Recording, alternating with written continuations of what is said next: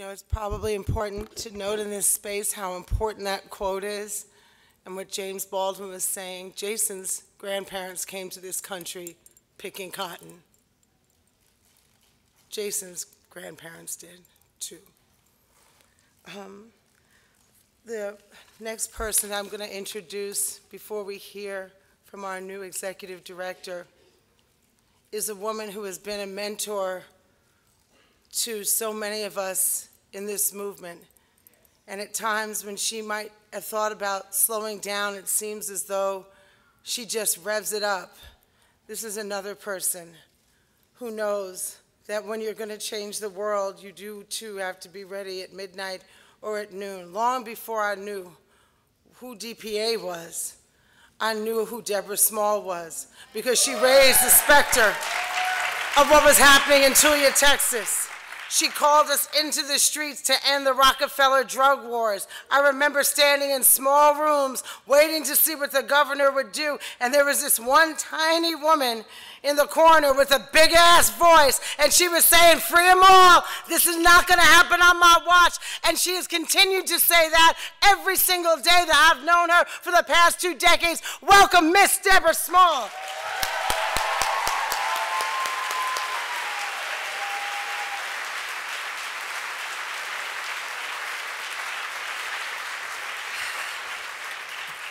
Greetings, family. I think it's time for us to like go beyond calling ourselves an alliance and acknowledge that we're family. When I come into this space, I see so many people that I've grown up with in this movement. And it's just wonderful. I'm going to be quick because I don't want to give Asha any reason to give me the hook. I got three points that I want to make about this conference. Um, for people who know me, they know that I am the ultimate documentary geek. You want to know about any film that has to do with history or whatever, ask me. Well, come, before I came here, I watched the Ken Burns series on the Vietnam War. And there were a couple of things about it that for me were really important. One was the fact that Bill Zimmerman, who worked on developing the ads for every one of our major initiative. I knew that he had been an activist, but I had no idea how much he had been involved in being an activist against the Vietnam War. And so it was wonderful for me to see the connection between the activism that he engaged in in the 60s and the way that he helped us to develop messages to help move the movement forward in the 90s and 2000s. There was that. Second is that it made me think about how we continue to repeat history, how the, whole, the same way that we went into the Vietnam War based on a lie, that we developed all the wrong metrics for success and stayed because we couldn't admit failure, are all the things that are true about the drug war. We went into it based on a lie. We have all the wrong metrics for success, and we're in it still, even though everyone believes it doesn't work because we're afraid to admit that it's a failure.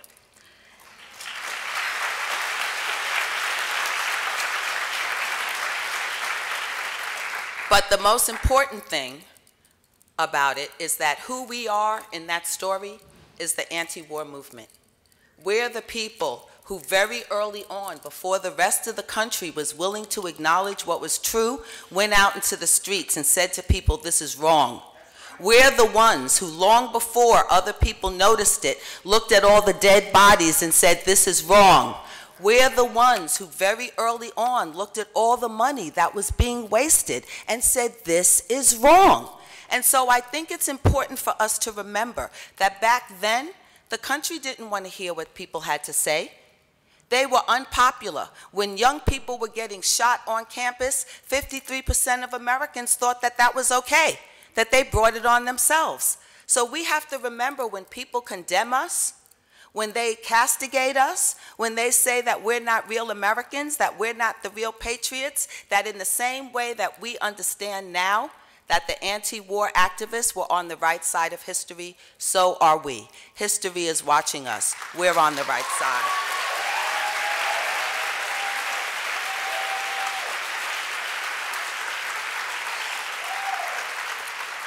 I have two more quick things I want to say. One is that this space, this conference, has always been a place for learning. It's always been a place for us to come and grow and actually challenge our own thinking, challenge our own concepts. So I want to put forward some challenges to you all about us thinking about this being a time for us to look at the language that we use. I think that there are some terms that need to be buried. I call them the tyranny of dead concepts. The first one is clean versus dirty when we're talking about urine. Every time we say it, we're speaking and undermining the very mission and values that we're here putting forward. Second term, drug users versus drug sellers. That is a distinction without meaning, one that we need to bury. And I am channeling my brother Eddie Ellis when I say that we need to bury that terminology and use the term people involved with drugs. People involved with drugs. And then the final, and two more, nonviolent versus violent. Every time we do that, we are stabbing our critical resistance brothers in the back. Every time we say that, we're saying it's okay to throw away some people in order to save us. That's not who we are.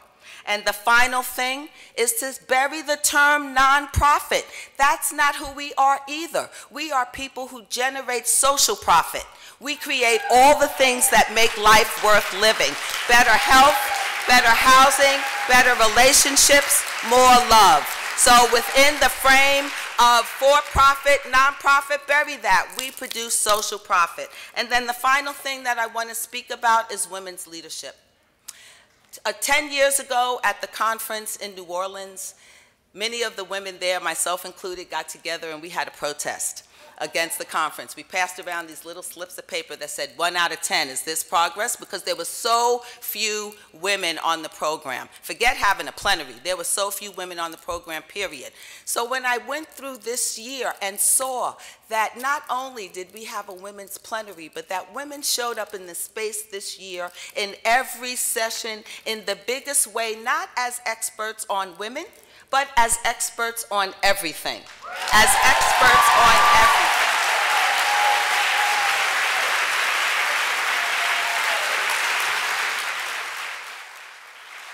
And so when we had the women's plenary and people said, well, you know, is it going to be a wonderful new movement because we've got women leading it? I'm like, I don't know about that, but I know it's going to be a wonderful movement because we got Monique and Maria leading it.